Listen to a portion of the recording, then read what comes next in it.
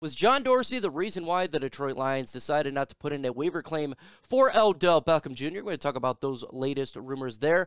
Tom Kennedy waived by the Detroit Lions. Amon Ra, St. Brown potentially going to get more time on the field. Brock Wright, he is now going to be in the lineup quite a bit as we released Darren Fells. We're also going to talk about shaking up the offense, what can be done to get better. Let's begin. It's LeGarrette Blunt here, man, three-time Super Bowl champion. I just want to give you a shout out to the YouTube channel, Micro Mike, man. Eddie Murray, former Detroit Lion. Make sure you watch Micro Mike on YouTube. Calvin Johnson Jr. here, uh, aka Megatron. Big shout out to Micro Mike and YouTube channel, man. Keep on talking everything Detroit Lions, and I just got to remind you, man, happy wife, happy life.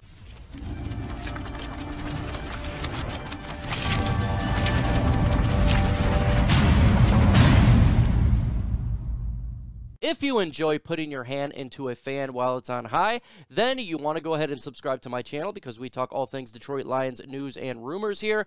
It's all about the pain that we have being a Lions fan. Also, if you could go ahead and Hadouken the like button, knock it out of the way, that would be fan freaking tastic.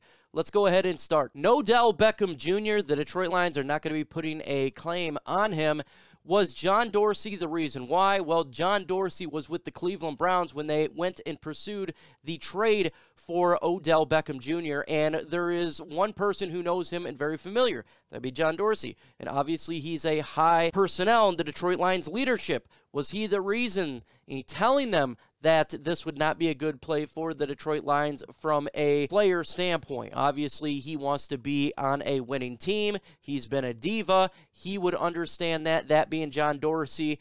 That's the type of player he is, and that would not be something the Lions want in the locker room. And that's very possible. That's what's going around regarding the Roomy Mill. I think it's very possible. But also, the $7 million cap, very possible because the Detroit Lions do not have the cap space. As well as he made it known that he does not want to be on a losing team. We've seen what he did with the Cleveland Browns, always whining and complaining. So, do you think he would do all that in Detroit? Yes, on steroids, he'd be doing that because we are an 0 8 football team. We've not won a game, and that's exactly what the type of person he is. So I think John Dorsey, Cap, that as well, you put it together. That is the reason why they're not putting a claim in, and the Lions continue to try to get a win going forward. Comment on the video. Do you approve of the Detroit Lions not putting a waiver claim in for Odell Beckham Jr.? This one is simple. Why for yes and for no. That will be the pinned comment of this video. Get your voice heard. Let's see what you guys think. The Detroit Lions waived wide receiver Tom Kennedy. He's been trying to make this team for years, and he finally did it this year, but with basically no playing time on the field. He hasn't done anything. The Detroit Lions felt it was important to go ahead and waive him and make a change on offense. What do I think about this? No big deal. He wasn't doing anything anyways. And if you can't do anything with the wide receivers that we have currently on this roster right now, then you're never going to do anything because this is the worst wide receiver core in the NFL because we have injuries, we don't have the proper players, and if you ain't doing nothing now, you ain't never do anything. So I think it's perfectly fine. Gee, keep changing up the roster. See if there's anything that we can bring in as a diamond of a rough. Just something at some point. We got to have some sort of cherry on this miserable season.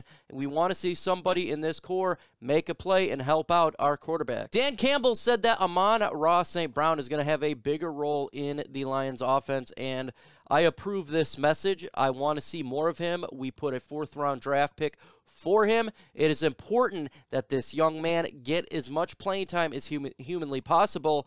We need to evaluate every single young player on this football team. We need to know what the Lions need to go ahead and get in these offseason.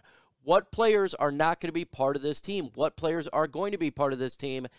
And with this 0 8 season, having him get more playing time is exactly what needs to happen. Now, it's up to him to make big time plays. He's got to get separation, he's got to get open, he's got to make the best of his opportunity because that's the whole point. That is the whole point of getting this guy in there who is recruited high, fourth round pick. A lot of fans liked him. He was physical in training camp. Now we need to see it on the field when the lights are on because we need help, folks. Amon Ra's got to do it. Also, Jared Goff needs to look his way. You need to look his way, Jared Goff. When he's open, throw him the football. That's important.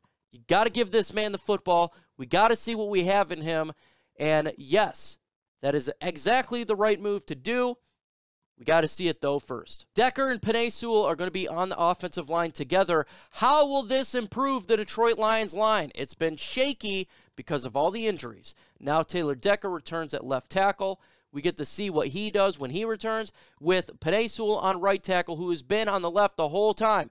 Can Penei Sewell translate a good effort, a good technique to the right side, solidify it, and can Taylor Decker do the same thing coming back from injury? Will this offensive line hold and give Jared Goff some time? Because it's been miserable all season.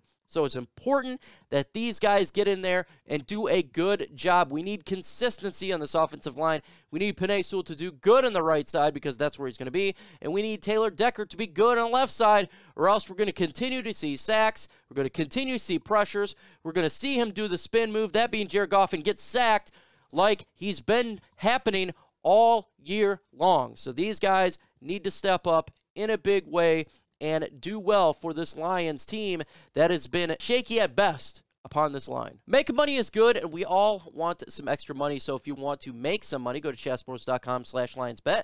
That is BetUS. You put in the promo code lines125 and you get a 125% deposit bonus. Put in 100, spend 125. Bet on games. Just don't bet on the Lions winning games. You're probably going to lose out on that bet. You'll lose money. We don't do that here. Chatsports.com slash linesbet. Dan Campbell stated that there's going to be some offensive changes for the Detroit Lions. How is it going to really help, in all honesty? What can be done to really change anything? And I'm thinking, not much.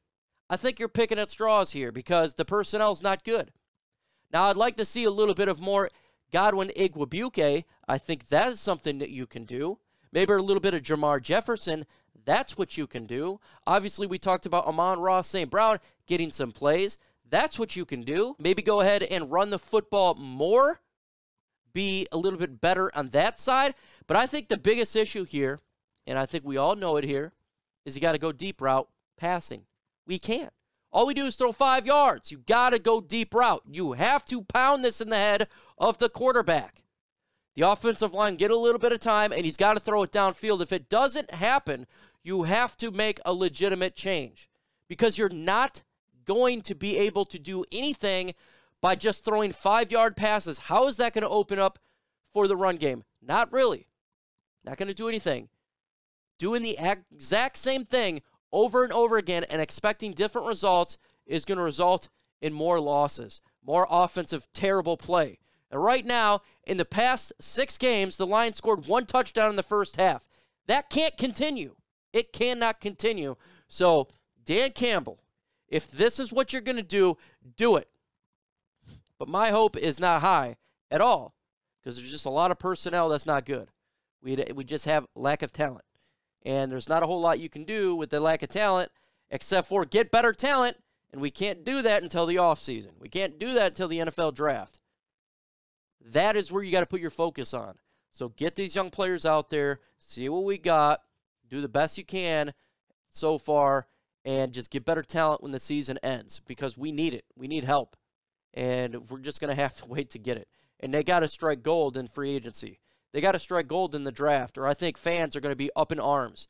If we have another season next year like this, fans are going to be rioting in the streets. We all remember when they brought in the casket and Matt Millen and they're marching around Ford Field. That's what it'd be like if we start 0 8 next year. So changes got to be made. It's got to start. It's got to start immediately, and it's got to start immediately after the season is over by getting talent and having an effective plan to get talent. We don't need the same Breshad Perrimans and the Tyrell Williams. You need to get legitimate talent. You got to you got to use some of that money. We got cap space, and you got to do it. We need help, so get it done. Lions have a young tight end in Brock Wright Now, he initially didn't make the team, practice squad, and he signed to the team going back and forth consistently. Now, we had Darren Fells and we released him. He was the veteran tight end for the Detroit Lions. Why do I think that signing Brock Wright to be on this roster and to make some plays a good move because we need to see and evaluate every young talent on this football team. And I know that we've drafted tight ends and tight ends quite a bit in the Lions, but we need to have a number two tight end and to evaluate Brock Wright to see if he is a player that can actually be on next year's team and the following years is really important right now. Because if he is not, maybe we go in the draft in the sixth round or in the fifth or sixth round, seventh round, something like that to get a tight end to be a number two next to TJ Hockenson. So that is important. And Brock Wright has made some plays so far this year. Want to see the young man grow. I want to see what he can do as being the number two guy right now and evaluate him is important for the long term success of the Lions. Right now, we kind of got to treat this NFL season like it's all a preseason game and slowly evaluate all the young talent on this team if they're going to be aboard this team for next year. And so I approve this message. I'm perfectly fine with them releasing Darren Fells and making Brock Wright giving him an opportunity to see if he can be that guy going forward for the Detroit Lions. In the upcoming videos, we got the One Pride podcast on my channel. It is on Thursday at 6:30 p.m. Eastern Time, so get ready for that. It's going to be a fun time. Wednesday tomorrow, I got a video dropping. We're going to do mock draft 2.0. What do I have for the Lions mock draft? I do multiple scenarios and then kind of go with the aggregate there. And on Sunday, we got the Lions watch party, Detroit Lions, Pittsburgh Steelers on my channel. Get ready for that. It's going to be a fun show, regardless of how this game plays out. And right after the game, we'll be doing a video as well.